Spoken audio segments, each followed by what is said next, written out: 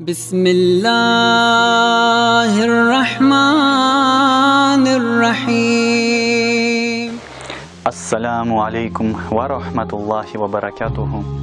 Инна алхамдулилlah, вассаляту вассаляму аля расулилляхи ва аля алихи ва асхабихи аджмаин.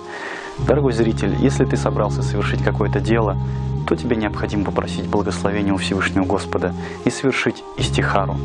Истихара – это молитва и спрашивание благословения у Всевышнего Аллаха, и она находится в крепости мусульманина. Итак, что нам нужно сделать? Первое.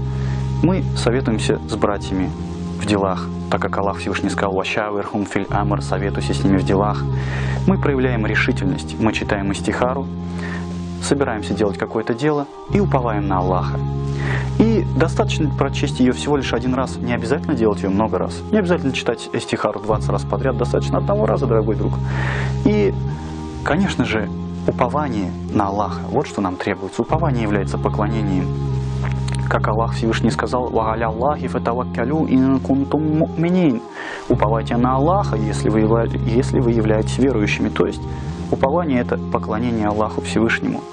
Также Аллах Всевышний сказал, «Вамай ятаваккаль аля Аллахи фахуа хасбух». Кто уповает на Аллаха, тому его достаточно. Итак, из распространенных ошибок, как мы сказали, это слишком частое совершение истихары. Во-вторых, многие люди часто совершают истихару и думают, что сейчас ему должно свалиться с неба то, что он хочет. Но на самом деле мы просим у Аллаха благословения в делах и делаем то дело, которое мы собира- собираемся совершить. Например, ты хочешь купить себе зимнюю обувь.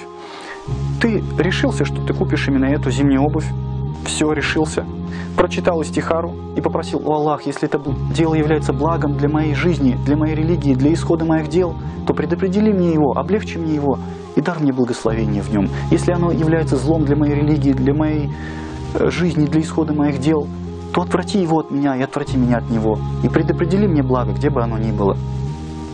А затем приведи меня к довольству им. Совершив это действие, ты идешь и совершаешь это, э, покупаешь ботинки.